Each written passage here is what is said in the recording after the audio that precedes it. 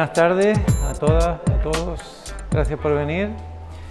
Eh, vamos a empezar una, charla en que vamos a hacer una parte de disertación, de exposición, de 40 minutos aproximadamente, ¿vale? 40-45 minutos y luego hacemos un coloquio, ¿vale? Media horita así, donde ustedes las dudas o las cosas no resueltas o las preguntas que quieran hacer, pues las pueden hacer luego. ¿Vale?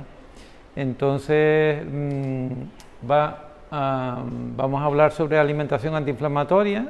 Les comento, mi nombre es Santiago Marrero, soy médico, eh, estoy especializado en medicina preventiva y, luego me, me, he formado en medicina integrativa. ¿no?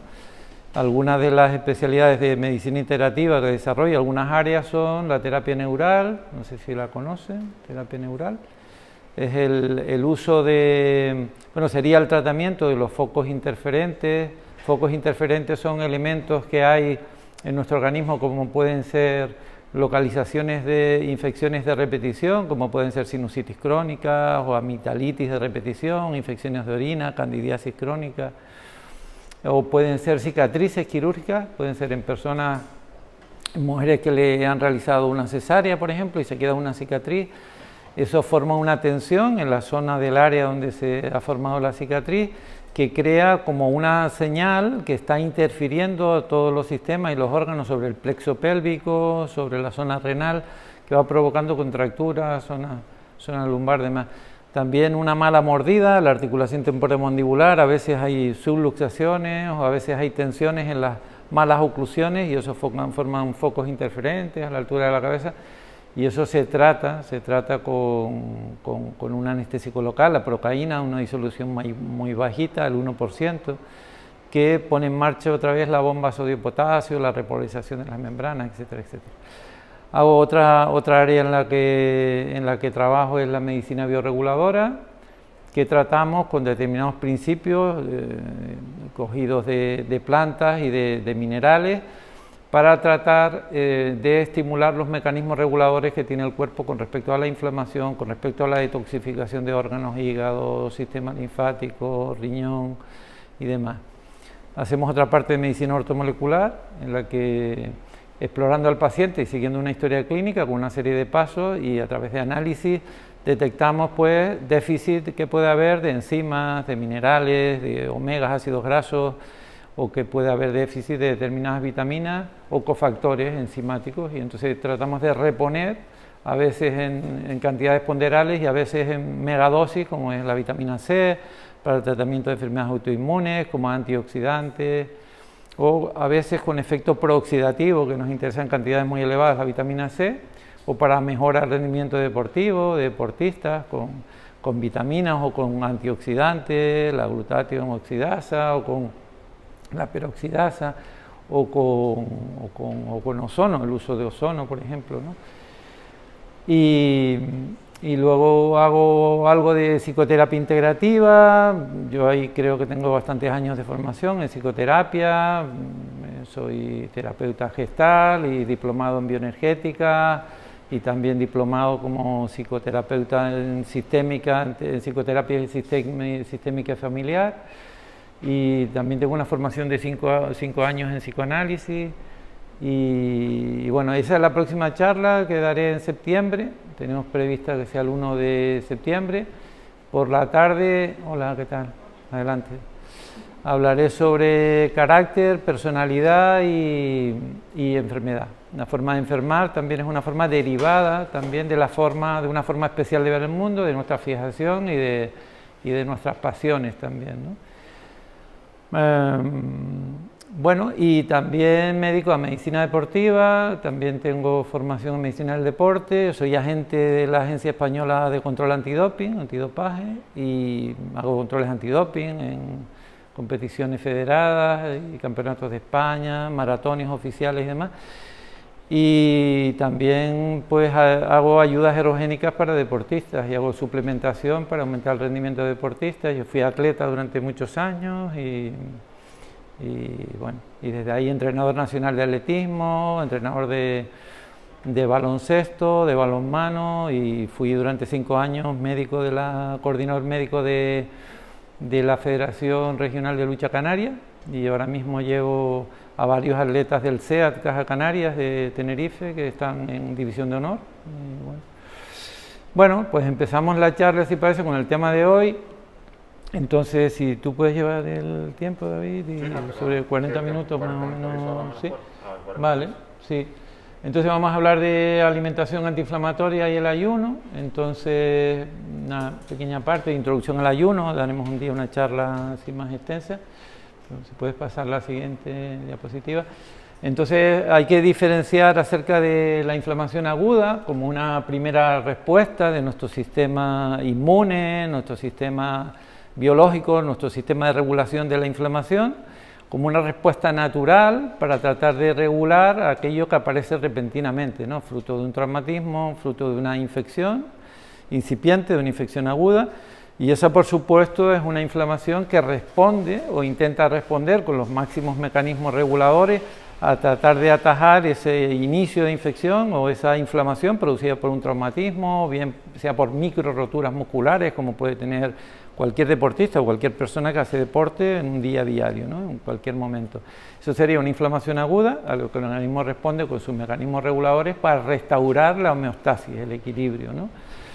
Otra cosa es cuando hablamos la diferencia eh, con respecto a esta otra inflamación, que es la inflamación crónica, mantenida a largo plazo, se habla de crónica en medicina cuando superamos seis meses, y entonces que genera un cambio hacia el desarrollo y sería la base del desarrollo de todas las enfermedades autoinmunes, de las enfermedades degenerativas, de las enfermedades del sistema nervioso Incluso hoy en día se sabe que se puede medir un estado depresivo, un estado de depresión mayor, un estado camino hacia la depresión, midiendo marcadores de inflamación, como son las interleuquinas, determinadas interleuquinas inflamatorias que aparecen en la interleuquina 1, la interleuquina 6, el factor de necrosis tumoral alfa. Entonces, determinados marcadores de inflamación que podemos medirlos en sangre son factores pronósticos o factores predictivos de estados inflamatorios. Y en una persona que tiene propensión al desarrollo de una enfermedad o de un proceso depresivo, ahí está presente y se sabe que la mayor parte de los procesos de depresión están eh, promovidos por un estado neuroinflamatorio y que es medible ese grado de inflamación y por tanto la mejoría del estado depresivo midiendo a la baja los marcadores de inflamación que se van elevando en sangre. ¿De acuerdo? Entonces, la inflamación crónica, yo decía que es la base de todas las enfermedades, sean de origen autoinmune, como es una colitis ulcerosa, una enfermedad de Crohn, la tiroiditis Hashimoto, la enfermedad de Graves, el vitíligo, la psoriasis, la artritis reumatoide, la alopecia areata y tantas otras enfermedades autoinmunes, el síndrome de Sjögren, etcétera, etcétera. Entonces eso corresponde a un estado inflamatorio crónico. ¿De dónde viene?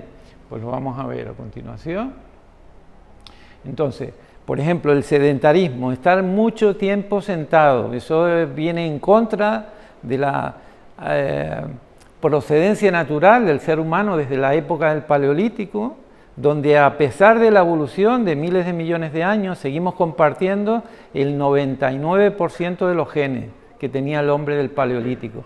Entonces, si nosotros venimos de un hombre que se movía, que trepaba, que corría, que cazaba detrás de animales, que tenía que sortear una suerte de dificultades en el día a día, y era un hombre que se movía, hoy en día nos configuramos en una sociedad donde cogemos ascensor, una escalera eléctrica, donde aparcamos el coche lo más cerca posible del lugar donde vamos, donde si no somos suficientemente activos, ese, ese trabajo desarrollado en una eh, posición de sentado durante muchas horas sin movernos, pues provoca un estado inflamatorio. Eso provoca de por sí un estado inflamatorio, ¿vale?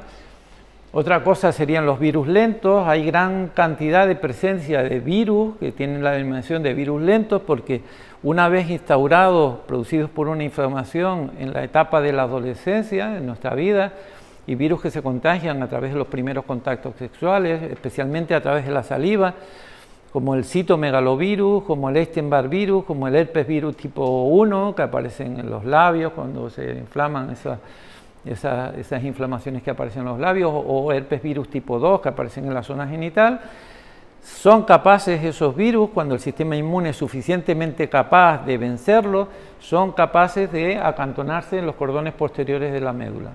Ahí se acumulan y se quedan reservados, se quedan acantonados hasta que nuestro sistema inmune baja de nuevo.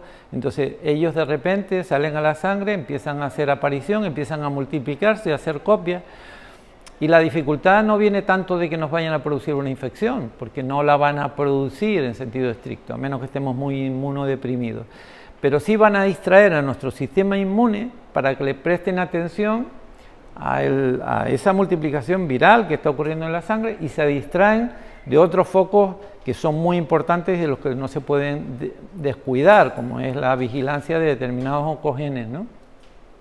A más edad, pues más riesgo, ¿no? En la medida en que el sistema inmune se agota cuando tiene que hacer frente a una serie de virus que se están replicando en sangre, ¿no? Entonces, los tóxicos alimentarios también, como ustedes saben, los tres blancos, el gluten, la leche, el azúcar y también uno como es la carne roja, rica en ácido araquidónico, son elementos que proinflamatorios, que promueven la inflamación. Por lo tanto, independientemente si somos celíacos o no, o sentimos que tenemos intolerancia a la lactosa o la leche, creemos que nos viene bien, en realidad deberíamos quitar esos tres blancos, ¿vale? El azúcar, la leche, el gluten, las carnes rojas, por su riqueza en ácido araquidónico, ¿vale? Entonces, eso favorece, esos productos favorecen la glutinina, la gliadina del gluten, la acidificación que produce el azúcar o la caseína, la proteína más abundante de la leche animal, van a producir una inflamación crónica a largo plazo en nuestro intestino que nos puede llevar desde un proceso de inflamación de mucosa a un intestino permeable, a un intestino agujereado, ¿no?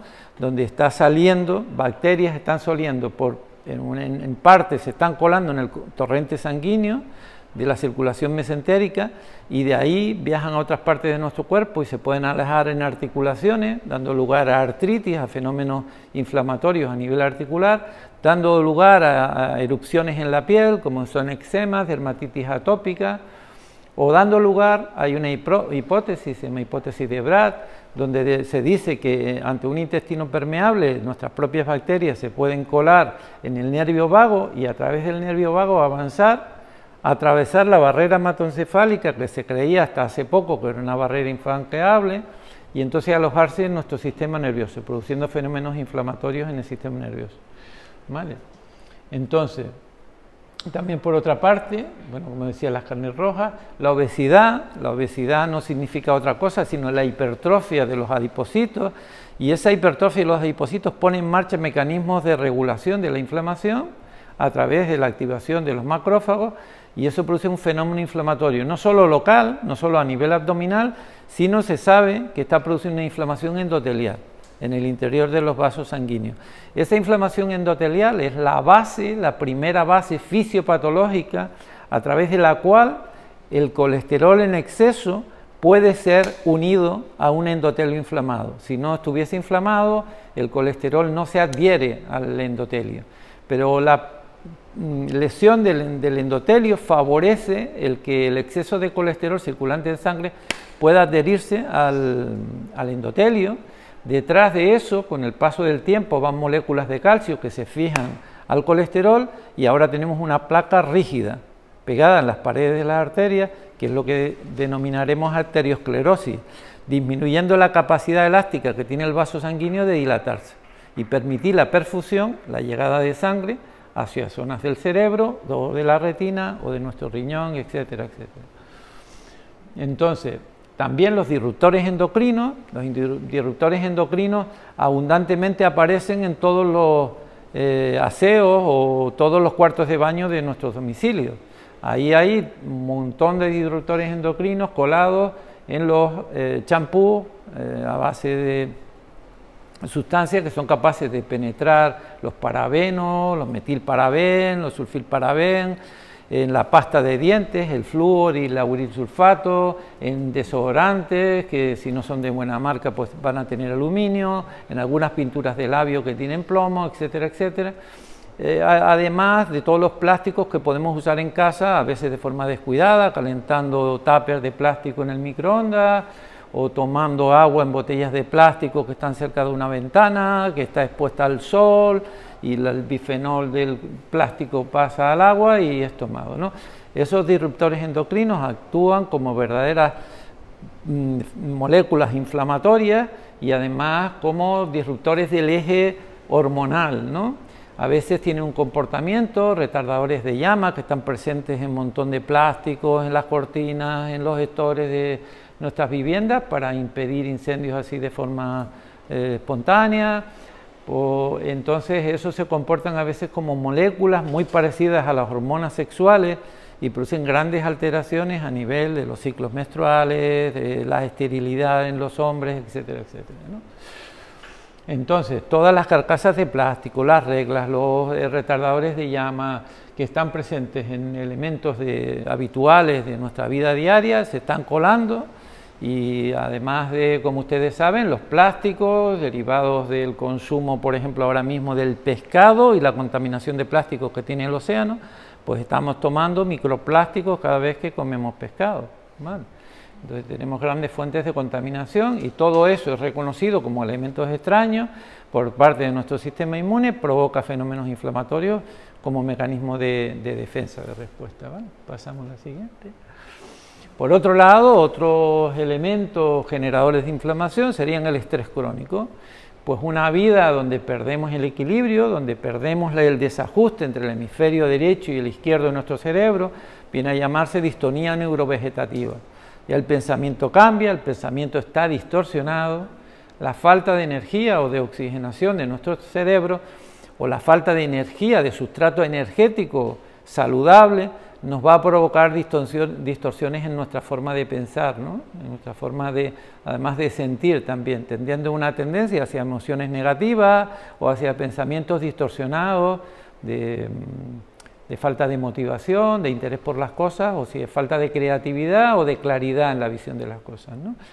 Entonces, el estrés crónico se trata también, también, por lo tanto, no solo de un estrés agudo, puntual, en un momento determinado que nos ocurre algo, sino un nivel de ansiedad mantenido en el tiempo, que es un gran generador de adrenalina y de cortisol, que saben ustedes que son las hormonas de la alarma, de respuesta ante situaciones de alarma.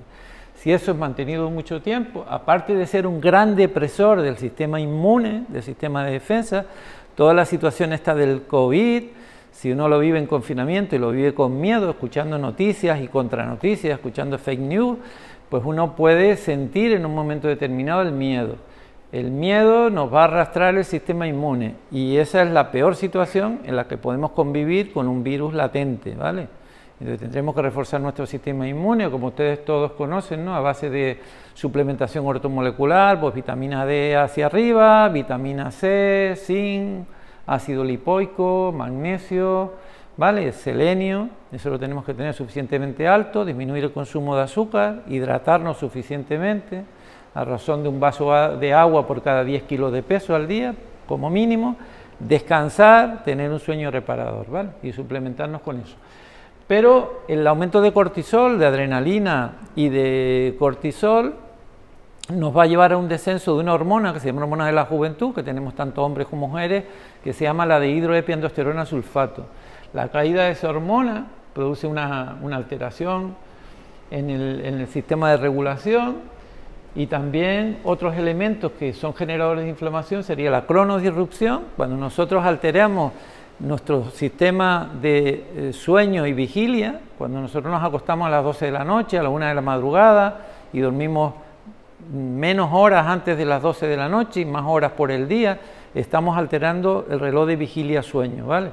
Nuestro sistema de ADN, el cromosoma de cada una de nuestras células, tiene un reloj biológico y ese reloj biológico lo estamos alterando continuamente por el contexto donde vivimos, debido a la luz que tenemos en casa encendida por la noche, al espectro de los elementos tecnológicos como es el teléfono móvil o un iPad que desprenden un espectro de luz azul que una vez que entra por la retina confunden a nuestro cerebro pensando que es de día y ahí se produce una alteración de los ciclos circadianos y eso produce una alteración del eje hormonal, hipotálamo, hipófisis, secreción tiroidea, suprarrenales, ovarios y demás. Los focos infecciosos silentes, que la mayoría de ellos eh, presentes en gran parte en la boca, eh, están produciendo una disbiosis, o sea, una caída de bacterias en sobrecrecimiento, estreptococos, estafilococos y otro tipo de bacterias que están siendo tragadas y yendo al intestino, produciendo una alteración de la microbiota intestinal, ¿vale? Entonces la boca es una gran fuente de inflamación y de inflamación crónica y de alteración de la microbiota, ¿vale? Por lo tanto, mucha atención, revisiones regulares, no solo ir al dentista, eh, con un enfoque biomecanicista, como hacen a veces algunos dentistas, ¿no? Pues eh, tienes espacio libre, te pongo un implante, te falta espacio, te quito piezas, te no sé qué, están desordenadas, te las ordeno, masticas o no masticas, te pongo una férula, así por la noche bruxas, y no sé qué. Pero hay que hacer algo más de esa odontología biomecanicista a la que estamos acostumbrados, que consiste en la prevención de aquellos elementos que mantengan un buen pH en la boca, un buen equilibrio de la mordida, una identificación de focos interferentes, bien sea por una subluxación de la ATM, por una mala distribución en la mordida, etcétera, etcétera. ¿no? Hay que hacer una indagación un poco más. La arteriosclerosis, como les decía antes, que después del depósito de las placas del calcio sobre una eh, placa de colesterol previamente pegada en un endotelio inflamado, provocan una inflamación endotelial en los vasos sanguíneos y lo que ello supone para los vasitos más pequeños, donde empieza a pasar menos sangre por ese tubo más estrecho. Por lo tanto, empieza a haber fenómenos de hipoxia a nivel del sistema nervioso, especialmente áreas prefrontales de la corteza, que a lo largo del tiempo se van reduciendo de tamaño dando lugar a deterioros cognitivos con el paso de los años. El síndrome metabólico es un proceso en el que subyace básicamente un elemento que se llama resistencia a la insulina, que viene, no viene a ser otra cosa sino el fracaso o el agotamiento del páncreas, de las células del Langerhans del páncreas, para segregar suficiente insulina o insulina de suficiente cantidad que siga siendo el transportador de la glucosa a través de las vías de difusión. Ustedes saben unos receptores que hay en la célula llamados GLUT1, GLUT2, GLUT3, GLUT4. ¿no? Los metales pesados, los metales pesados derivados pues de, los eh, amalgamas metálicas que se ponían antes, afortunadamente está prohibido hoy colocar esas amalgamas cuyo porcentaje de aluminio era el 50% de la masa metálica que se colocaba, un 30% de plata y eso se iba liberando con el calor de la comida, las bebidas calientes y era tragado, absorbido por la circulación entérica y fijado en el órgano más graso que tenemos, que es nuestro cerebro, ¿vale? Otras derivaciones eran de los desodorantes o lámparas también que estaban prohibidas de mercurio y eran usadas antes en, los hogares, afortunadamente están prohibidas, o de algunas conducciones ¿no? del agua. ¿no? Entonces, y la ingesta de mercurio a través del pescado, como saben, entre, no solo comemos microplásticos a través de la ingesta de pescado, sino ingerimos pequeñas cantidades de mercurio. Y también antiguamente las vacunas que nos pusieron a los que somos de generaciones ya hace unos cuantos años, unas cuantas décadas, pues tenían timerosal, que era un inductor, un, excipiente para transportar la vacuna y era un derivado del mercurio, ¿no? Hoy afortunadamente no le ponen mercurio, ahora le ponen aluminio, ¿no? Para compensar, que es otro metal pesado y es un efecto parecido. Entonces no seamos los primeros en ponernos vacunas, ¿no? Dejemos que otros se las pongan, a ver qué experiencia tienen y ya vemos a ver qué fenómeno tienen. Recomendación personal. Y luego el estreñimiento crónico, ¿no? El estreñimiento también donde uno no va todos los días al baño y no va de forma natural al baño, también provoca un fenómeno de inflamación. Imagínense ustedes que el tránsito es tan lento que por el colon descendente o por el colon transverso va una materia fecal que apenas tiene residuos aprovechables y esos residuos que son putrefactos y putrefactan eh, a través de las bacterias proteolíticas que abundan en nuestro colon izquierdo, y entonces un elemento que putrefacta y por lo tanto está produciendo amoníaco y ácido sulfúrico está en contacto con las paredes del intestino. ¿Eso inflama o no inflama? Evidentemente produce un fenómeno inflamatorio local y tanto más despacio vaya, más inflamación produce. Pasamos al siguiente. Entonces, hay una hipótesis, les decía antes, les comentaba la hipótesis de Brad, y entonces dice que nuestro eje de microbiota, la flora eh, del aparato digestivo, está conectada directamente a través de un eje que se llama intestino-cerebro con nuestro cerebro.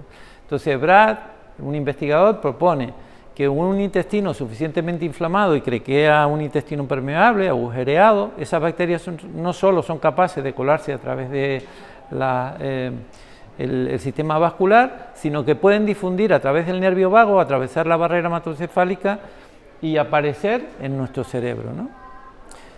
De ahí se ha de paso dicho que a lo mejor a veces tenemos un pensamiento de mierda, ¿no? pero si salen las bacterias y llegan ahí, pero bueno. Si mejoramos nuestra microbiota, mejoramos el conjunto de nuestro sistema inmune. ¿no? Entre ellos le ponía como ejemplo la enfermedad de Hashimoto, que es una enfermedad autoinmune, ¿no? Y que tiene una gran relación con la disbiosis intestinal, con la alteración de la microbiota. ¿no? Por lo tanto, la solución pasa por una alimentación antiinflamatoria, la regulación de esos focos interferentes o esos procesos que están facilitando la inflamación y la suplementación, ¿no? entre otras pasa por una dieta rica en fibra, son probióticos y alimentan por tanto a la flora beneficiosa y por lo tanto una alimentación ecológica, integral y en equilibrio hidratos de carbono y proteínas. ¿no? Pasamos a la siguiente. Eh, repito, los tres blancos, las harinas, el gluten y el azúcar y, también las carnes rojas por su riqueza en ácido araquidónico que se comporta como un elemento inflamatorio. Las grasas sanas, la relación de omega 6 y omega 3, los omega 6 serían también necesarios, ¿no? Pero omega 3 vienen a ser las grasas sanas, ¿no? Derivadas del consumo de pescado, de frutos secos, de semilla, de lino, ¿vale? de mantequilla ecológica o mantequilla guía, aquella mantequilla que hacen que generan sobre todo, fabrican los hindú y que está desprovista de grasa saturada. ¿vale? Entonces la relación de omega 6 con respecto a los omega 3, si omega 6 aparece en el numerador, omega 3 aparece en el denominador, debe ser una relación entre 1,5 y 4, ¿no? Hasta cuatro veces más omega 6 que omega 3. Hasta ahí podríamos tener un equilibrio de grasa sana. ¿vale? Pero en Europa se hizo un estudio hace algunos años ya y en el conjunto de los países europeos se vio que la relación omega 6 y omega 3 era de 20. Eso supone, por definición, un estado inflamatorio, un estatus inflamatorio permanente de la mayoría de la población europea. ¿Vale? Entonces tenemos que ir a aumentar evidentemente el denominador, las grasas omega 3 presentes en estos elementos. Mantener los niveles de glucosa también es muy importante porque se sabe que están ocurriendo dos cosas, creo que lo dije en la charla anterior, en, este momento, en la comunidad donde vivimos, en la población española, en la población europea, hay dos elementos en el que estamos incurriendo y que producen fenómenos inflamatorios. Uno, un aumento de calorías por encima del gasto calórico que tenemos a nivel personal, ¿vale? Y otro, un aumento del consumo de azúcares que están disparando la insulina como prohormona transportadora de la glucosa y que tiene que ir a rescatar esos niveles altos de insulina para, de glucosa, perdón, para regularlo en sangre y la insulina se sabe que es otro fenómeno, otro elemento inflamatorio, no solo los niveles altos de azúcar, o sea que hacemos picos de azúcar que son inflamatorios, detrás va la insulina a bajar esos niveles de azúcar, lo hace tan rápido a veces que crea un estado de hipoglucemia, necesitamos comer a la hora y media o dos horas para aumentar los niveles de azúcar porque nos estamos quedando sin energía, volvemos a hacer otro pico de glucosa, detrás otro pico de insulina y son dos factores que se están dando en cadena y están produciendo fenómenos inflamatorios. Y una alimentación rica en antioxidantes, ¿no? por nuestro alto nivel de estrés oxidativo. ¿no? Entonces, todos los antioxidantes, como pueden ser algunas vitaminas, minerales, el zinc, el selenio, el magnesio, el manganeso, ¿vale? pues esos son necesarios para equilibrar nuestro nivel de ROS, de especies reactivas de oxígeno, de radicales libres. Los radicales libres y las especies reactivas de oxígeno en un nivel determinado son necesarios porque combaten el crecimiento de virus, porque son necesarios para regular determinados niveles de inflamación, pero más allá de los niveles normales necesitaremos el apoyo de los antioxidantes. Hay cosas absolutamente normales y corrientes, como es los deportistas, ¿no? sobre todo cuando hacen deporte a mediodía, hay una gran irradiación de luz solar, eso aumenta el estrés oxidativo y también influye en aumentar el estrés oxidativo cuando hay un aumento de temperatura. ¿vale? Entonces, si haces deporte a mediodía dándote el sol y con una temperatura eh, ambiental alta, el estrés oxidativo, que ya de por sí produce el ejercicio, se multiplica por varios, por varios números. ¿no? Entonces tenemos que ir a reducir ese estrés oxidativo buscando otra hora de hacer deporte que sea marcado por determinados parámetros de consumo calórico, de mm, cálculo de, pulsaciones realizadas durante el ejercicio y que seamos capaces de recuperar eso en un plazo de tiempo X, no más de 48 horas debería ser el espacio entre un ejercicio intenso y la capacidad de poderlo hacer, ¿no? ¿Vale? Si no nos hemos pasado, si tardamos más de ese tiempo nos estamos evidentemente pasando. Eh, determinados elementos presentes en la alimentación y aquí vamos como el brócoli, por ejemplo, las crucíferas en general, la familia de las crucíferas que son el brócoli, la coliflor, la coles de Bruselas, la col lombarda, la col roja, tienen un principio activo que se llama indol 3-carbinol, que es un gran regulador hormonal, tanto para hombres como para mujeres, es un gran antitumoral eh, para prevenir y para tratar el desarrollo de tumores hormonodependientes, cáncer de útero, de ovario, de mama, de próstata, ¿vale? y está presente en esos eh, elementos eh, naturales como son las crucíferas. El resveratrol de las uvas, extraído básicamente de la pipa de la uva y presente en el vino tinto, pues sería un elemento también antioxidante. La curcumina, los principios activos de la cúrcuma, la alicina del ajo, ¿vale? y otros principios activos presentes en el jengibre o en, el, o en la, la, cayena o la pimienta negra, etcétera, ¿vale? Actuarían como reguladores de la inflamación y naturales. Los bioflavonoides que contienen las frutas y, las hortalizas, las verduras, pues también actúan como reguladores de la inflamación. La quercitina, las manzanas, las bayas, el té verde tiene un principio activo muy interesante antitumoral y antiinflamatorio, como es la, pilocatequina galatoquinasa y la teanina, son grandes reguladores de la inflamación. Otros que tienen además actividad enzimática desinflaman, como la papaína, la bromelaína de la piña o de la papaya, ¿no? regulan y ayudan a regular procesos inflamatorios presentes en la base, como decíamos, de las enfermedades autoinmunes o enfermedades degenerativas o enfermedades crónicas. ¿no? Las protoantocianinas de los frutos rojos o todas las verduras que son, tienen roja, entre una cebolla blanca y una roja, elijan la cebolla roja, entre una col natural verde y una col lombarda, elijan la col lombarda porque tiene protoantocianinas, y todos los frutos rojos que tienen un índice glucémico bajo y además son grandes antioxidantes, por la presencia de protoantocianinas, como es la granada, como es la sandía, las picotas, la cereza, la frambuesa, las moras, ¿vale? Son frutos que pueden comerse en cualquier momento porque tienen un índice glucémico bajo, no nos hacen subir la insulina, no hacen esas curvas de, de glucosa que hacen otras frutas de más contenido en fructosa y además tienen las protoantocianinas. ¿Pasamos? Entonces, es necesario que en determinados momentos del año, sobre todo especialmente en los cambios de estación, o sea, cuatro veces al año, hagamos una depuración, una dieta detox, ¿no?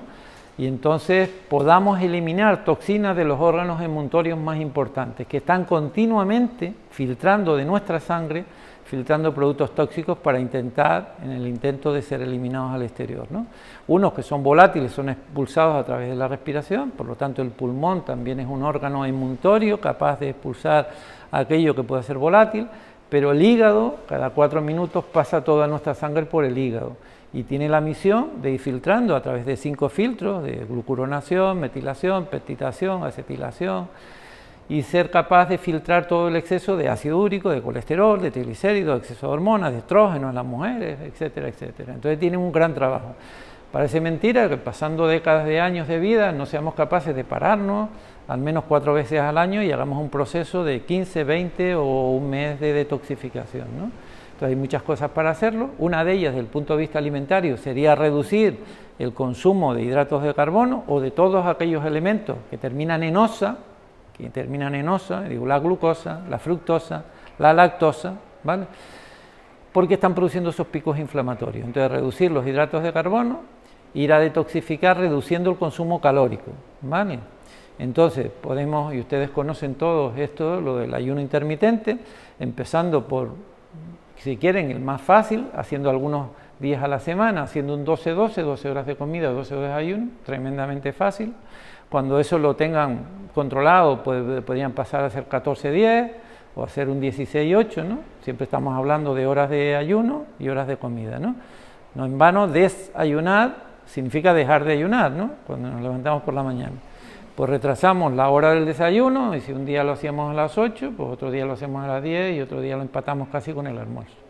Y haremos horas de ayuno donde el cuerpo tiende en ese proceso de, stop, tiende a desembarazarse y a desechar todo aquello que le sobra y que está en exceso. ¿no?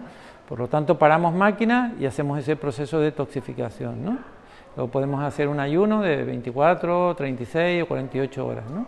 Y podemos apoyarnos siempre de elementos como son zumos de fruta, con bajo índice glucémico, o algunos batidos con verduras y verduras depurativas, como es el apio, la clorela, la espirulina. O podemos hacerlo con caldo de verduras y té verde, o aquellos que sean más que tengan más voluntad y estén más motivados, hacerlo con agua solo, ¿no? Pero siempre podemos apoyarnos de cosas para no pensar que, solo tiene que ser de forma repentina y 36 horas y hacerlo con agua y si no, no vale. Vale todo eso que he dicho, 12-12 o 14-10 o 16-8 o algún ayuno mayor, ¿vale? Y el, objetivo es limpiar el sistema básico de Pissinger, ¿no? El sistema básico de Pissinger viene a ser, para que lo entiendan, sería como las ocho islas Canarias, ¿no? Contando a la graciosa, pues que el océano Atlántico que rodea las islas sería el sistema básico de Pissinger y que ese sistema esté rodeado de plásticos, por ejemplo, ¿no? y de petróleo y esté muy sucio. Pues no hay manera de hacer llegar nutrientes a las islas y las islas se mueren porque no llegan nutrientes y están poco oxigenadas porque no le llega ni oxígeno. ¿no? Pues la detoxificación lo que va a favorecer es la movilización de ese océano Atlántico, de todos esos plásticos, ese petróleo y la basura que rodea las islas permitiendo que los nutrientes ahora a través del agua del mar lleguen a las islas y sean absorbidos y esas islas crezcan, se vuelvan verdes, sean frondosas. ¿Vale? ¿Se entiende el, símil? ejemplo, vale. Pasamos al siguiente. Entonces, evitar aquello que nos inflama, dijimos los tres blancos, evitamos el consumo de elementos que tengan una alta, una alta carga glucémica, incluida las frutas, no se trata de ya ponerle azúcar o leche condensada a las cosas, la gente dice, es que a mí la fruta que me gusta, yo reconozco que papa no como mucho, arroz como de vez en cuando, vengo a bajar de peso, pero a mí la fruta me gusta mucho. ¿Y qué fruta le gusta a usted? Pues a mí me gustan los dátiles, los higos pasados, los orejones. Y yo digo, ¿y qué fue primero, el huevo o la gallina? ¿Cómo que no? ¿Qué fue? Como el huevo o la gallina. No, ¿qué, ¿qué fruta le gusta a usted? Los dátiles, los higos pasados, las uvas y tal y usted quiere bajar de peso, pero usted no come mucho arroz, no, no, yo arroz poco y papa de vez en cuando, pero come mucha fruta y esa fruta tiene mucha glucosa. Bueno, lo que tiene la fruta es fructosa, eso no será, bueno, pero eso se convierte en azúcar. Bueno, pues tendremos que quitar la fruta. Es que a mí, si no me quitan la fruta, yo soy capaz de quitarme el arroz y tal, pero la fruta hay que quitarla. Entonces, bueno, no sé en qué parte me perdí, pero no nos entendemos. Pero la fruta a mí me gusta. ¿Pero qué es primero, el huevo o la gallina? Pero si esto le va a subir las calorías. no sé. Bueno, a veces no soy suficientemente inteligente como para darle la vuelta a eso, pero la fruta que tiene mucha fructosa al final se convierte en glucosa. La glucosa cuando está en exceso se convierte en glucógeno y forma, ah, forma parte de glucosa de reserva en el hígado y en los grupos de gran tamaño, en los grupos musculares de gran tamaño, en los isquiotibiales, los glúteos. Eso se está liberando a la sangre cada vez que tenemos una pequeña bajada de glucosa y se hacen picos de glucosa, detrás los picos de insulina y volvemos a la vuelta. Bueno, evitar la grasa saturada, toda aquella grasa que viene derivada de los productos derivados del cerdo, salami, salchichón, chorizo, mortadela, pues esa grasa hay que evitarla, ¿no?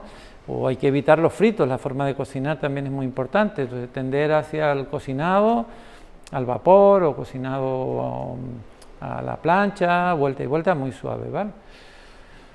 Y las mantequillas eh, saturadas con grasa estructurada o el aceite de girasol o de maíz o de palma, pues evidentemente tienen grasas saturadas, tenemos que retirarlo de la dieta, ¿no? Pasamos al siguiente. Hacer una masticación adecuada, la digestión empieza en la boca, tenemos que hacer una trituración bien de los alimentos que comemos, ensalivar bien, porque hay determinadas enzimas en la saliva que empiezan ya a degradar los principios inmediatos. El otro tanto lo hará el ácido del estómago, que sigue fraccionando los principios inmediatos, y otro las lipasas, las proteasas, las amilasas y también las sales biliares, ¿vale? Van degradando la grasa o los hidratos de carbono, las proteínas y demás. Bueno, toda la acción impulsiva que es dada a comer, y eso lo hablamos en la próxima charla en septiembre, verán que hay mucha connotación de lo que comemos y está relacionado con determinados procesos que están en nuestro inconsciente de satisfacción emocional, ¿vale? El vasito de leche que te daba tu abuela o tu madre para que te fuese a acostar por la noche, pues la resistencia a abandonar la ingesta de leche está muchas veces, unas veces oculto por la necesidad de la relación afectiva que producía el consumo de leche, cuando en el inconsciente estamos asociando eso a, una, a un periodo afectivo. ¿vale?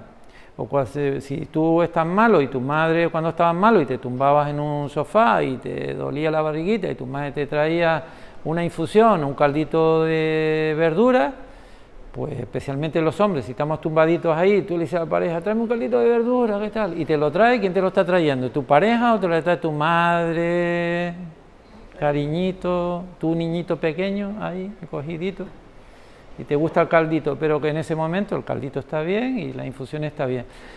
Pero la asociación de tomar chocolate, por ejemplo, asociado con la festividad de un cumpleaños, la etapa infantil, también cuando estás por ahí, y el helado en cucurucho, ¿le suena de algo? También tiene una fuerte asociación con la etapa infantil. O te tomas cervezas, que es lo que habitualmente tomabas cuando eras adolescente y estabas con tus amigos después de un partido de fútbol, y lo tomas teniendo más años de edad, rodeado en una mesa con tus amigos o familiares, porque tiene también una fuerte asociación a épocas de estadios lúdicos o periodos lúdicos donde tú compartías con tus amigos. ¿Vale? Muchas veces el inconsciente, yo diría la mayor parte de las veces, se sabe que nuestro inconsciente procesa en un segundo 11 millones de bits de información, en un segundo. De manera inconsciente, procesa 11 millones de bits de información. Y nuestro consciente se conoce que puede llegar a un máximo de procesamiento de información en un segundo de 50 bits por segundo. O sea, el consciente procesa 50 bits. Y tu inconsciente en el mismo tiempo está procesando 11 millones de bits. ¿Quién manda? ¿Quién manda? Pero así todo, pensamos que la decisión de ir y tomarme un helado, tomarme ahora el chocolate o tomarme la cerveza la estoy decidiendo yo, porque estoy con mis amigos. G, Vale. Pues ya lo que vamos a hacer es eh, ir acabando. Si quieren abrimos un espacio de preguntas, porque tenía mucho más diapositivas, pero si quieren abrimos un espacio de preguntas, que me parece que es mucho más interesante para ustedes. Y si quieren, bueno, algo del ayuno, por adelantarles y quizás lo, los vean. Si quieren pasamos unas cuantas diapositivas hasta llegar al japonés. A, sí, a, este japonés bueno, habían muchas más diapositivas, como ven, pero otro día es que no quiero transar este hombre. Yoshinori Uzumi es un japonés que le dieron el premio Nobel de Medicina en el año 2006. Esto es una de las grandes herramientas que tenemos en mano, muy socializada, porque cualquiera lo puede hacer, no cuesta nada, todo lo contrario, te ahorra dinero, ¿no? y cualquiera lo puede hacer, que es el ayuno, que es el ayuno intermitente o el ayuno relativo o el ayuno absoluto. ¿no? Eh, le dieron el premio Nobel en el 2016 porque descubrió el fenómeno de la autofagia. El fenómeno de la autofagia había sido descrito por otro premio Nobel de medicina en el año 74 por un fisiólogo eh, que le dieron el premio Nobel de medicina por descubrir la autofagia, pero no, no detalló todas las ventajas que la autofagia tenía.